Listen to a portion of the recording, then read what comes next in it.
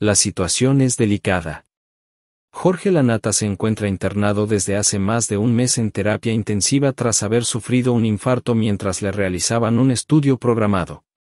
En el programa de Pamela David, Desayuno Americano, el doctor Claudio Santamaría explicó la dura secuela que podría enfrentar el periodista. Lanata tiene 63 años y lleva más de un mes internado. Él no puede respirar solo. Si le sacas el respirador, hay que ver si puede respirar por su cuenta. Si pasan más de 10 o 15 días, lo que se hace es una traqueotomía. Se pone un tubo por debajo de las cuerdas vocales para que no queden lesionadas, explicó el doctor Santa María. Se puede seguir respirando igual.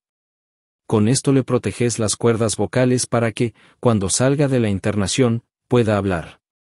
Si no, podés quedar disfónico o afónico, añadió el médico. Pamela David, intrigada, le preguntó, ¿qué secuelas le pueden quedar? Una disfonía permanente. Siempre lo que se hace para proteger las cuerdas vocales es una traqueotomía. Como está en terapia intensiva, está sedado.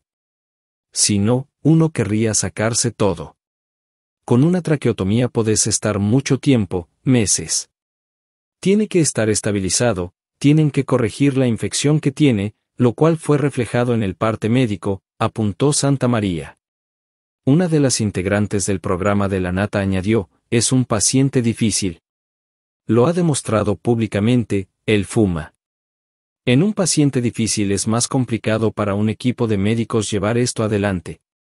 El doctor Santa María continuó, Jorge tiene de base diabetes, insuficiencia renal crónica y una insuficiencia respiratoria, además de su obesidad y sedentarismo. Lo que complica el cuadro es que, además de los antibióticos que está recibiendo, está inmunosuprimido por su trasplante renal, lo que significa que sus defensas están bajas para que no rechace el trasplante que tiene. Tiene que superar la infección, deben lograr sacarle el tubo, bajar la sedación y que de a poco comience a recuperar sus funciones, concluyó el médico. Esta situación de salud tan complicada de Jorge Lanata pone de relieve la importancia de un cuidado médico continuo y especializado, especialmente en pacientes con múltiples condiciones preexistentes. El hecho de que Lanata esté inmunosuprimido debido a su trasplante renal agrava aún más la situación, ya que su cuerpo no puede combatir infecciones de manera efectiva. La traqueotomía, aunque es una medida invasiva, es una intervención crucial para asegurar que la nata pueda respirar sin dañar sus cuerdas vocales. Este procedimiento no solo facilita la respiración mientras el paciente está sedado y conectado a un respirador, sino que también protege su capacidad de hablar una vez que se recupere. La posibilidad de disfonía permanente es una preocupación seria, especialmente para alguien cuya profesión depende tanto de su voz.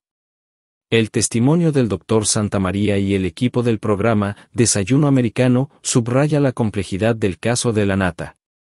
No es solo la infección o el infarto lo que preocupa a los médicos, sino un conjunto de factores interrelacionados que hacen que su recuperación sea un desafío. La diabetes, la insuficiencia renal crónica y la insuficiencia respiratoria, combinadas con su obesidad y sedentarismo, presentan un panorama complicado. Además, el hecho de que la nata sea un fumador conocido añade otra capa de dificultad. El tabaquismo afecta negativamente casi todos los aspectos de la salud, especialmente la capacidad pulmonar y la circulación sanguínea, ambas críticas en la recuperación de un infarto y una infección respiratoria. En conclusión, la situación de Jorge Lanata es un recordatorio poderoso de cómo múltiples condiciones de salud pueden interactuar y complicar la recuperación de un paciente. La intervención médica especializada es vital para manejar estos casos complejos, y procedimientos como la traqueotomía son esenciales para proteger funciones vitales como la respiración y el habla. La salud de la nata está en manos de un equipo médico dedicado que trabaja incansablemente para estabilizar su condición y mejorar sus posibilidades de una recuperación completa. Este internado, él fue a hacerse el 14 de junio un estudio común, una, no se sabe si una tomografía o una resonancia con contraste. Mm. Durante el procedimiento tuvo un infarto, algo falló, no se sabe bien qué pasó. Esto es información periodística, no salió en el parte. Eso, perdón, doctor, ¿se da porque se da o como consecuencia de la práctica? Le iban a hacer un estudio contrastado. Programado, estaba programado. Programado. En el medio del estudio no sabemos si era una coronariografía, qué estudio era, tuvo un infarto durante el procedimiento, fue derivado a terapia intensiva, estuvo seis días intubado mm. y sigue en terapia intensiva desde el 14 de junio. Mucho, es mucho. Y 13 días intubado, ¿no? Claro. Ahora, estuvo bien, estaba para mejorar, hizo un pico de fiebre, tiene una infección urinaria.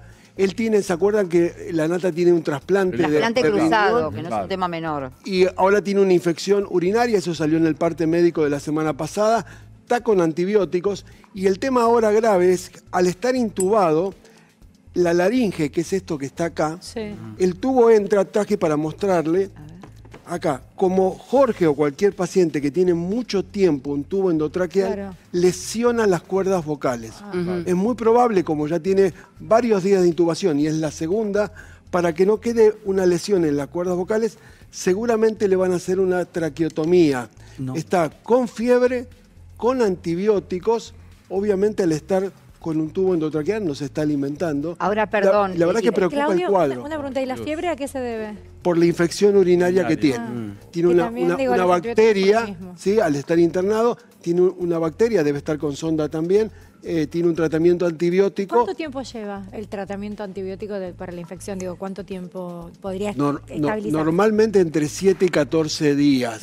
Recordemos que Jorge es diabético, está inmunosuprimido por el trasplante que tienen. Fumador. Es, un paciente fumador, tiene una insuficiencia eh, renal, tiene una insuficiencia respiratoria y tiene una insuficiencia cardíaca. Digo, tiene un cuadro claro, su patología de, base complicada. Y Jorge tiene otra cosa que es un paciente que es obeso y fue sedentario. Mm, Digo, la, la, verdad que es un paciente complejo, tiene 63 años y ya hace más de un mes que está internado. Porque y otras internaciones previas a anteriores. Claro. Sí, no, decía que hay mucho hermetismo con lo que es el, parte médico de la nata. Se conoció recién después de 14 días un parte médico oficial que, bueno, lo, emitió el hospital italiano. Él siempre estuvo en, la Fundación Favaloro, pero bueno, este, casualmente ahora está en el italiano. Eh, hay hermetismo y respeto también nosotros los periodistas, pero bueno, es un personaje público y también queremos saber y comunicar. Eh, sí, yo te iba a decir que justamente con tanto tiempo estando intubado, hay, digamos, eh, cierta propensión a infecciones, ¿no? En ese tubo, digo, no, se podría extubar eh, más allá de la sedación que le van dando, digo, por una cuestión también de infección, porque tengo entendido que la gente cuando está mucho tiempo intubada, lo sé porque mi mamá lo ha estado en algún momento y trataban de extubarla y bueno, se ponía muy nerviosa y tenían que volver a sedarla. Digo, ¿qué posibilidades tiene de infección este, en ese tubo que vos acabás de mostrar y, explicar muy bien. La verdad que cuando le ponemos a un paciente un tubo endotraqueal para poder respirar es porque él tiene una insuficiencia respiratoria. O sea, no puede respirar solo. No puede respirar solo. Está conectado a un respirador. Cuando no hay un respirador usamos esto que es un ambú. Lo que hace es reemplaza la función del pulmón vos le graduás cuántas ventilaciones tiene por minuto. Si vos le sacás el respirador, hay que ver si el pulmón puede respirar por su cuenta. Mientras no lo pueda hacer, tiene que estar con un tubo endotraqueal.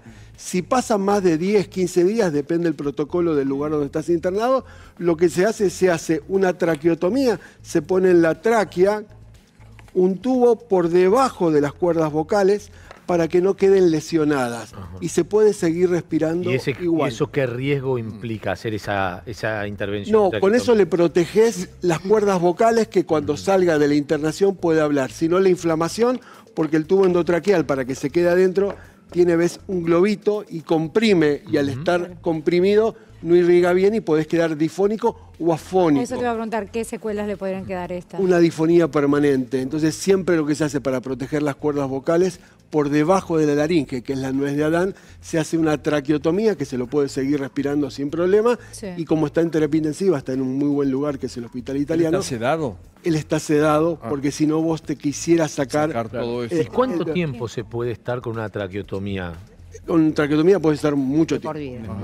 mucho tiempo. Ahora pregunto, hasta que pregunto yo. Y todo eso, claro, tiene que estar estabilizado, tienen que corregir la infección que tiene, que eso el parte médico la reflejaron. ¿Y qué estás a suero? ¿No comes todo un mes? Le ponen alimentación parenteral, le pueden poner la alimentación por vía endovenosa ah. o también si le sacan el tubo endotraqueal le puedes poner una sonda nasogástrica y le puedes gotear eh, alimentos que llegan al estómago. Normalmente, ah. si estás con tubo endotraqueal, te alimentamos por... Habrá bajado de peso, pobre, porque con eh, esto... seguramente porque hace más de un mes que Ahora, es un, es un paciente difícil, la nata, convengamos que sí, más allá de todo el antecedente que tiene de salud. Y porque es un hombre que, bueno, ha demostrado públicamente, él mismo a veces se, revela o fuma, o bueno, cada uno siendo adulto decide. Digo, en un paciente difícil es más complicado para un médico, para un equipo de médicos llevar adelante. Pero digo, eh, ¿cuánto más riesgo tiene en este caso un paciente que tiene un trasplante cruzado? O un trasplante al fin, eh, con todas esas patologías, digo que, no son temas menores, un hombre joven de 63 años mm. que ya viene desde hace mucho tiempo con muchas internaciones. Hay muchas internaciones. Mm. Jorge tiene de base diabetes, que es el aumento de la glucosa en la sangre, tiene una insuficiencia renal crónica que estuvo en diálisis y después se trasplantó, ¿se recuerdan? Y tiene, por ser fumador crónico, una insuficiencia respiratoria. Y su obesidad. Claro. Y su obesidad. Y el sedentarismo. Y su sedentarismo. Digo, Perdona, doctor es una pregunta que es medio ignorante quizá, pero estamos hablando de una infección urinaria a la edad de Jorge, no es lo mismo que una infección urinaria a los 20 años. Estamos probablemente hablando de un daño más grande a la psiquis, ¿no? Con este tipo de. No, la, infección, el, parte médico la refiere que está solo en la vía urinaria. Un paciente que está internado en terapia intensiva debe tener sonda vesical seguramente y seguramente se, puede infectar. Digo, porque está quieto en una cama, hace más de un mes que está internado en terapia intensiva, está intubado la zona de terapia intensiva, como hay otros pacientes, es una zona de riesgo, más allá que lo tenga cuidado, pero eso se puede resolver. Complica el cuadro de Jorge que aparte de recibir antibióticos, él está inmunosuprimido por su trasplante renal. Claro, Quiere decir que las defensas están bajas para que no rechace el riñón que, tiene. ¿Y cómo sería, Doc, la rehabilitación ¿eh? para terminar ya esto, la rehabilitación de él, que se mejore pronto, que sea cuanto antes? Él tiene que pasar la, infección, eso lo curan con los antibióticos, tienen que lograr sacarlo del tubo endotraqueal, bajar la sedación mm. y que él de a poco empiece a recuperar las funciones, porque ahora está sedado por la complejidad del cuadro que estamos describiendo.